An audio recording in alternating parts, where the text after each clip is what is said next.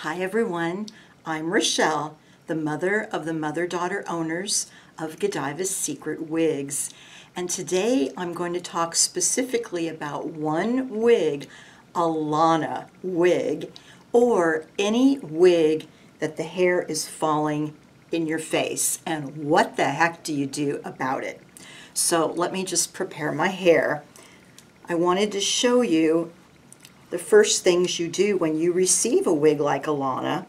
So I just grabbed Marble Brown H from our stock and the first thing, it comes to you folded inside out. So open it up. Here's the front. And what I do first with any new wig is I am brushing it straight back. So I'm holding it. Here is the forehead, the front. And I'm just brushing it straight back. That's going to make a difference for you right away. Then I'm going to hold the back just like we show you. Put your thumbs right on these elastic sizers, one on each side, right here and dip your head in. I'm just tucking my hair in in the back.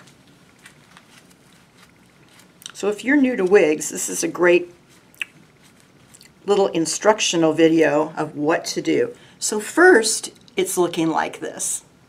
Now, make sure your hands are clean and they don't have your dirts and oils from your makeup because you want to keep your wig clean.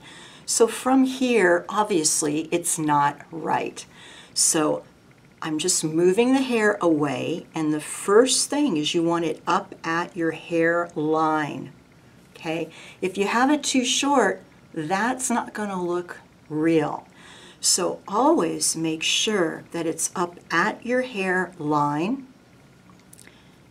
And then there are curvy little tabs on each side.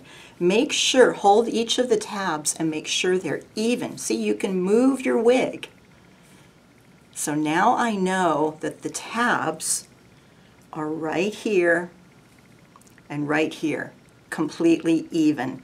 So first you want the wig at your hairline, make sure the tabs are even, and now let's talk about Alana. So with Alana, or any new wig, the first thing that I love to do is try it every which way. I want to see how the bang falls or the hair falls if it has no bang. And I'm going to trim bangs on this too in this video, so you will see that as well. So sometime I'll put a little hair behind. Right now I'm just connecting with the wig. But I'm not bringing it down, down. If you see, I'm always going kind of up and back. So I'm already starting to train it not to fall in my face. So I kind of like that. What do you think? It's cute. It's Alana is a fabulous wig, and I know some of you are calling in, you're a little lost with what to do with this hair right here. So my easiest tip, and it makes so much sense and you're going to love it, is to simply back comb this hair to some hair that's further behind.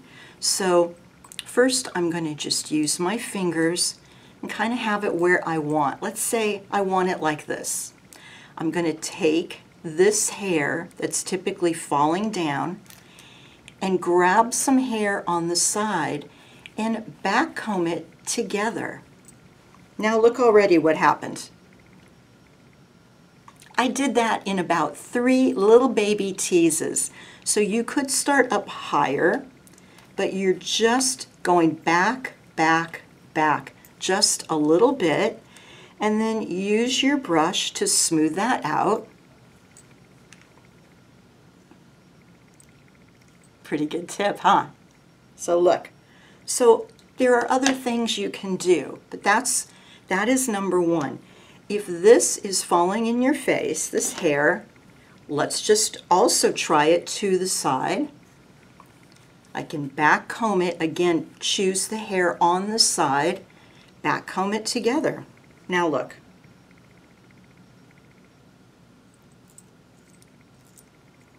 Let me do this side too so you can see. Take this hair, touch the side hair, back comb them together. And then smooth it out so you don't see it too much. It's kind of like teasing, teasing a wig. So now look. It's a great little trick, all right? Another thing you can do, I'm going to just brush the back combing out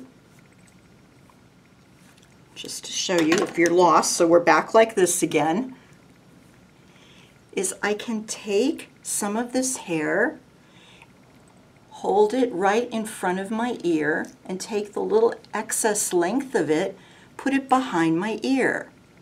So now I have it out of my face. I can do it over here too. So watch. Taking this little piece, it's not very long, but long enough and under. And I like it a little longer right there so it just covers my temple hair.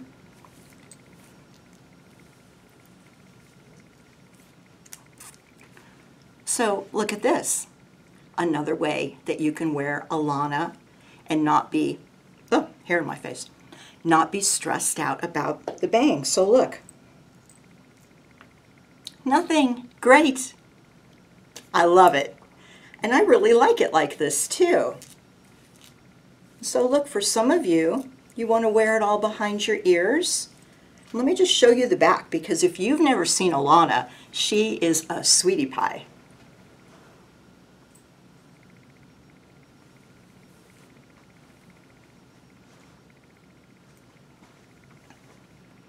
Okay, so if you have an Alana or a wig that's falling in your face, follow me, let's do it again. So I'm just going to even smooth this out, take that hair, sweep it behind my ear, right behind my ear. And then if I want, I can pull some hair in front of it and it looks so natural, doesn't it? Let me do it here again, slow motion.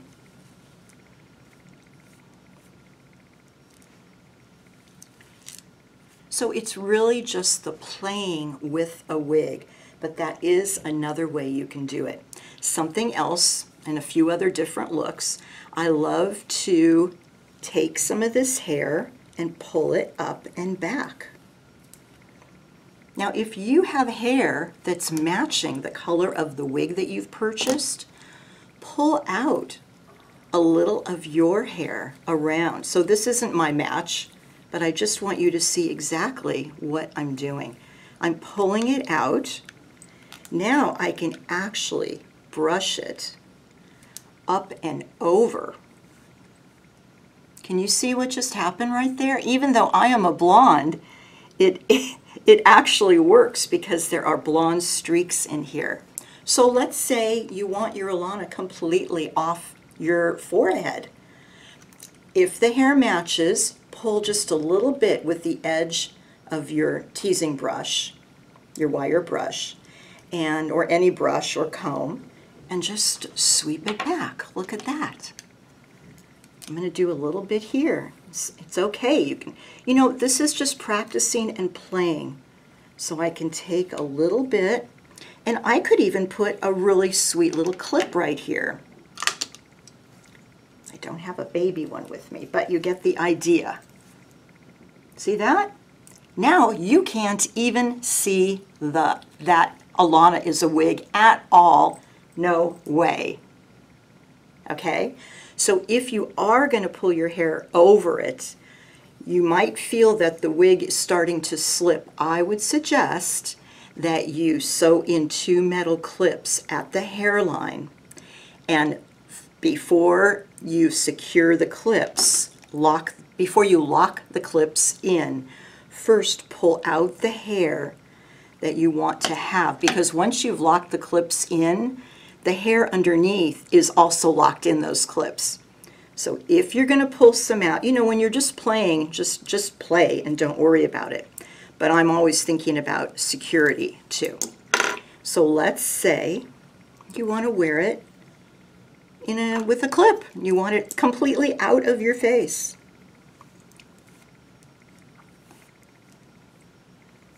Okay, you can do that. Look at the back.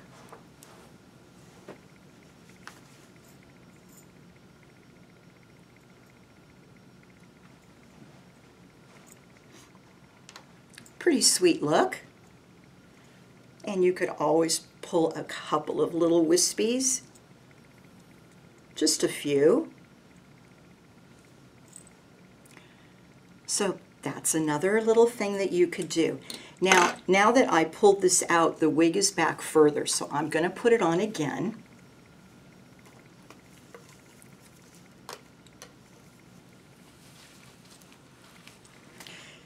Without pulling any of my hair out.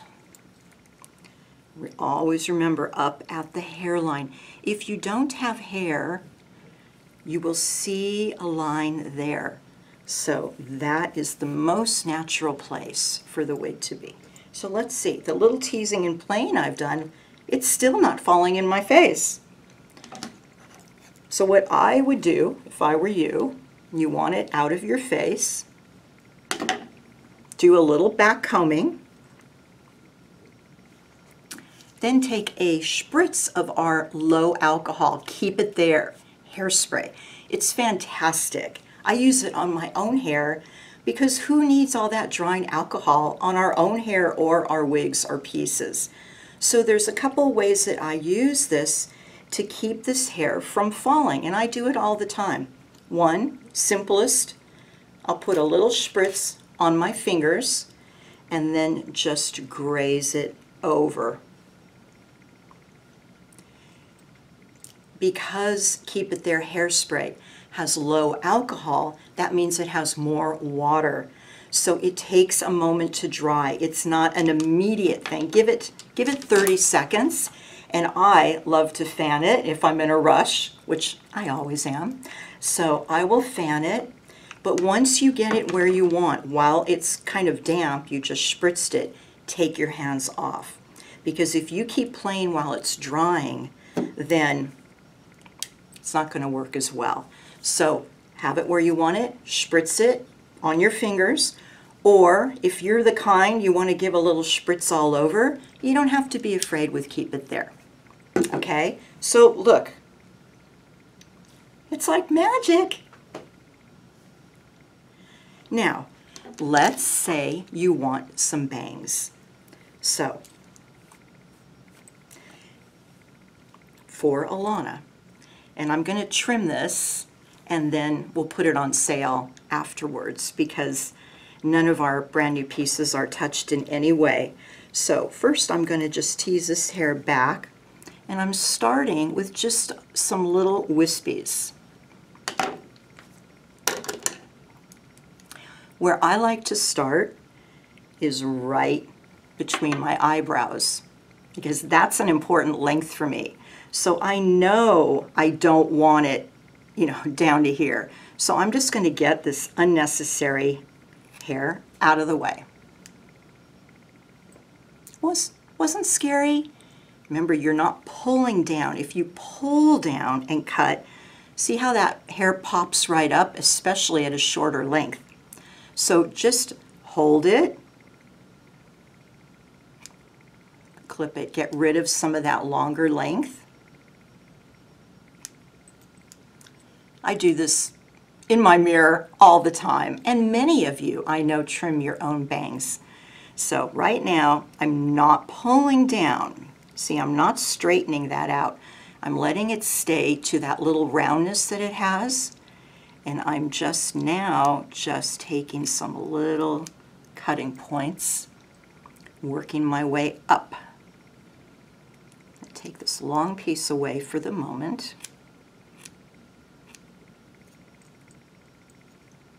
You see how it's still too long, and I know some of you, you want this hair in your eyes. And that's fine, but no, if it gets in your eyes, it can bother you. So I'm just taking a little look-see for a minute here. So I'm going to take it a little shorter still.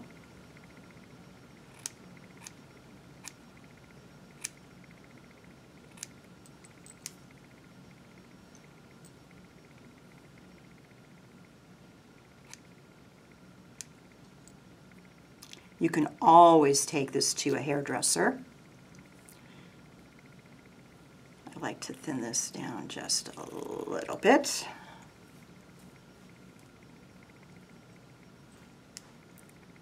So I'm still going to take it a little bit shorter just so you can really see. I, I would not wear my bangs like that because I feel them all in my eyes.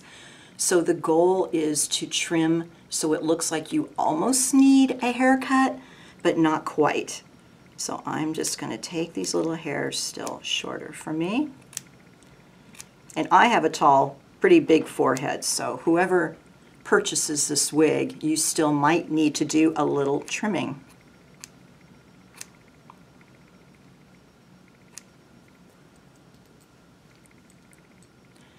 And if you can see, I go very, very carefully. I do just a little bit more. I never cut a wig on a head because I don't know the size of the forehead and I want to see it on me. I'm playing with it, trying different things to see what I like. I'm going to take this a little shorter to balance this out a little bit. I normally like to leave this long, so if you go to somebody, I wouldn't be quick to take this. If you want to open up your eyes, if it's, if it's too much, so let me just do it a little bit. I'm going to take a little bit more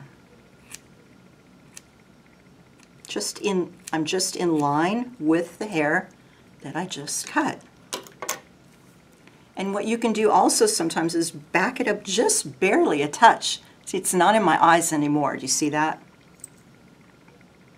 Now, really cute, here's Alana with bangs. Can I change the part? Let's see. I don't see why not. It's cute. But this is the way I normally go.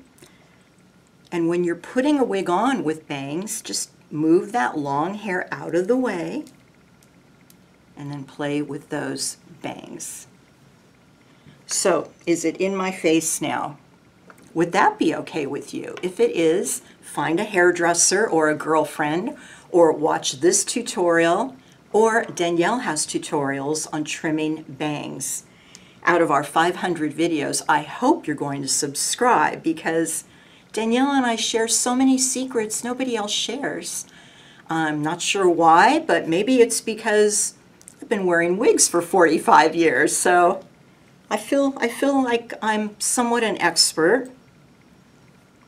So there you go. I hope that helps you with Alana or any wig. And hey, one last thing. So pull up here if you like. Now that you have bangs or even without, say you want to take a little of this hair away from your face.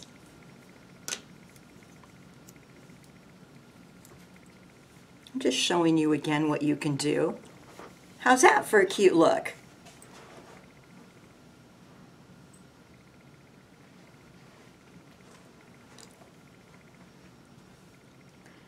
So there you go. Thank you for watching and please share us, subscribe to all of our videos, and we will talk again soon, okay? And let me know if this works for you. We really want to know, okay?